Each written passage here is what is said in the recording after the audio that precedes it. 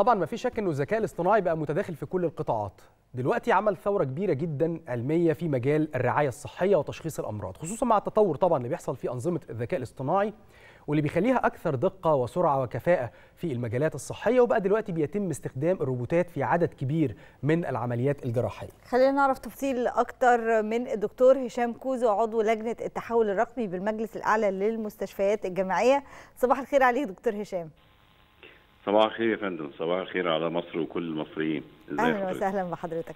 لما نيجي نقول الذكاء الاصطناعي وتدخله في كل حاجة دلوقتي في ثورة كده في عالم الرعاية الصحية ابتدت تحصل بسبب الذكاء الاصطناعي. لو تقول لنا إيه التطوير اللي بيحصل عندنا؟ هو الحقيقة الذكاء الاصطناعي مش بيعمل بس ثورة في الرعاية الصحية هو بيعمل ثورة في في كل حاجة في ال يعني الذكاء الاصطناعي. هو بداية الثورة الصناعية الخامسة اللي ابتدت في بداية العقد ده من 2020 وده هيغير شكل العالم كله مش بس الرعاية الصحية. الذكاء الاصطناعي ابتدى في البداية إنه بيحاول يعمل آلات أو حاسبات تحاكي الذكاء البشري. وبعدين اكتشفوا إن ده مش ممكن الذكاء البشري في بعض الصفات لا يمكن للآلة إنها تحاكيها فابتدوا يفكروا إنه الذكاء الاصطناعي هو الكمبيوتر أو الحاسب أو الروبوت أو الآلة اللي هي بتقدر تتعلم وتفكر بطريقة منطقية وعقلانية. ده ده التعريف دلوقتي للذكاء الاصطناعي. الذكاء الاصطناعي له تكنولوجيات كثيره جدا كل التكنولوجيات بتاعته الحقيقة استغلت في مجال الرعاية الصحية بكل أشكالها.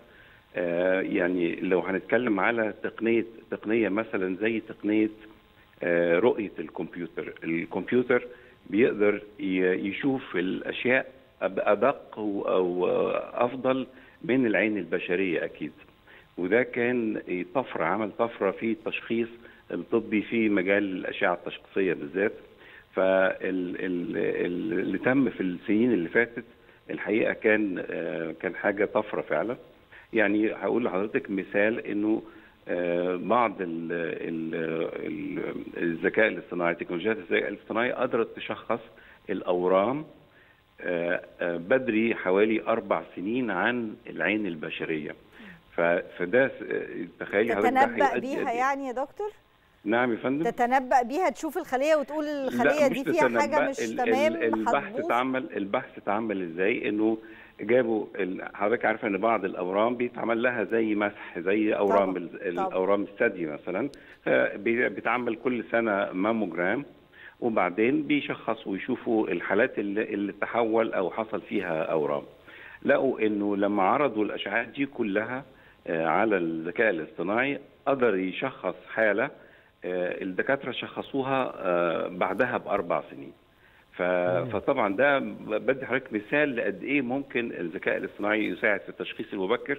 وطبعا حضرتك عارفة يعني إيه تشخيص مبكر يعني تدخل مبكر يعني ما فيش مضاعفات يعني مفهوم طبعا. كل كل أمور طيب دكتور هل هل بدأ بالفعل الروبوتات تدخل مجال العمليات وأي نوع من العمليات؟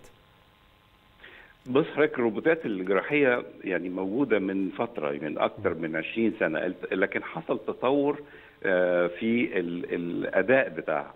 الناس بتتخيل إن الروبوت الجراحي هو يعني معناها بديل عن الجراح. يعني مم. الجراح مش بيعمل حاجة الروبوت هو اللي بيشتغل. وبعدين أنا أنا خايف أسلم نفسي الروبوت يا فندم. يعني لا أنا أخاف بصراحة. ما أنا هقول لحضرتك. آه. هو يعني ال ال الروبوت دلوقتي أو الجراحة الروبوتية معناها إنه الجراح بيتحكم في آلة الآلة دي هي اللي بتعمل العملية لكن الجراح هو اللي بيتحكم فيها.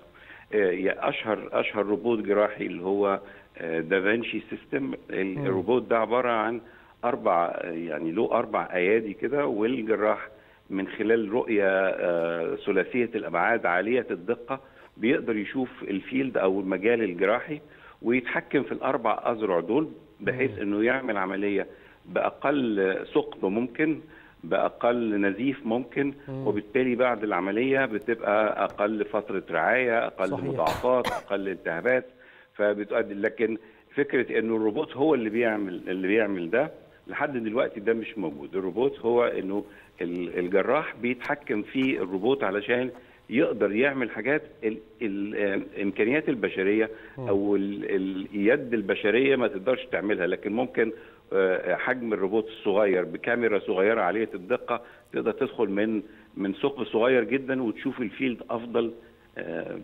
من الجراح.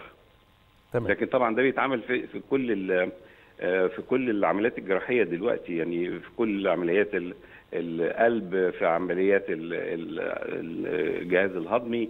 كل ده بيتعمل بال أول عملية جراحية اتعملت كان استئصال المرارة.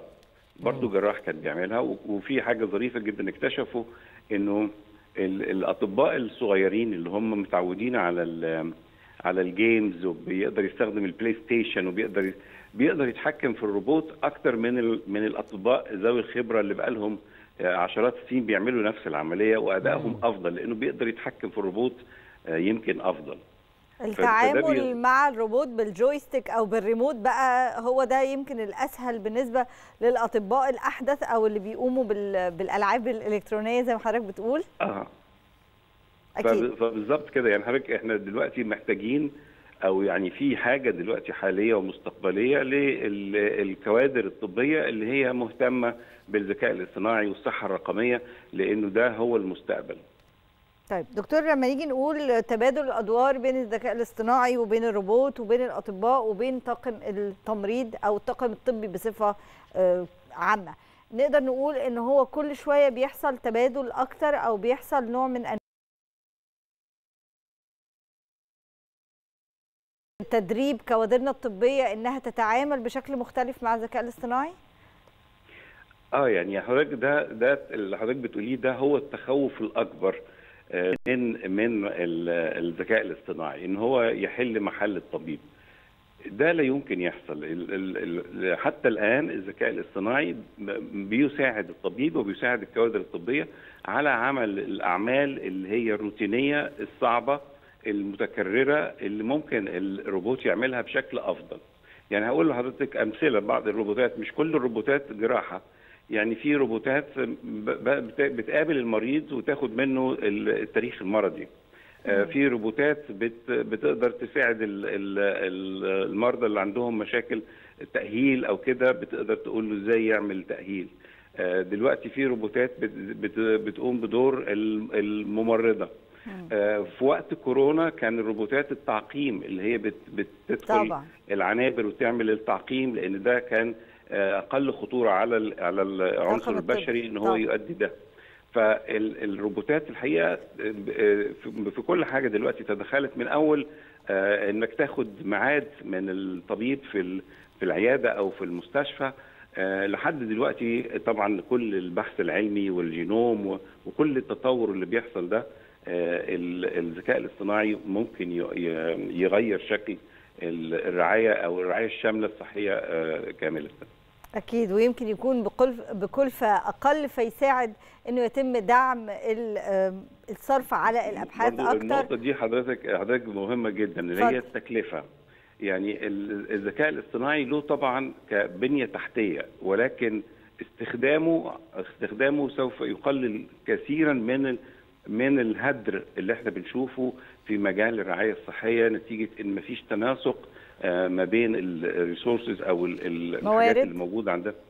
آه فيعني هو آه محتاج في الأول تكلفة أو بنية تحتية آه، ومش مكلفة جدا لأن دلوقتي مع تطور الإنترنت والإنترنت آه، وإنترنت كل شيء وعلوم البيانات والبيانات الضخمة آه، الذكاء الاصطناعي بقى له دور كبير جدا في التعامل مع البيانات لأنه كانت مشكلتنا ج- كبيرة جدا في أنظمة الرعاية الصحية إنه عندنا كم ضخم من البيانات صعب التعامل معاه وكنا بناخد منه زي انديكيتورز كده أو علامات نقدر نحكم أو نقول إزاي نعمل قرار أو نعمل أي تدخل. إنما دلوقتي من خلال الذكاء الاصطناعي تحليل البيانات دي أصبح أكثر دقة بقى في اللي هو التعلم ال- الآلة الدقيق بيقدر مش بس يحلل البيانات لا كمان يستنتج من البيانات دي استقراء للمستقبل وإزاي نقدر آه، نغير من قراراتنا آه، في المجال الصحي سواء في المجال في الإدارة أو في الرعاية الصحية نفسها أو في البحث العلمي وحتى في التعليم الطبي. أكيد. كل الشكر ليك الدكتور هشام كوزو عضو لجنة التحول الرقمي بالمجلس الأعلى للمستشفيات الجامعية. شكرا جزيلا ليك.